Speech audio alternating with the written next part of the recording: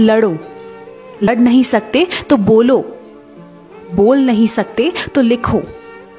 और लिख नहीं सकते तो साथ दो। और साथ भी नहीं दे सकते। तो जो लड़, लिख और बोल रहे हैं, उनका मनोबल बढ़ाओ। और ये भी नहीं कर सकते तो कम से कम उनका मनोबल गिराओ तो मत। क्योंकि वो आपके हिस्से की लड़ाई लड़ रहे हैं। जय हिंद।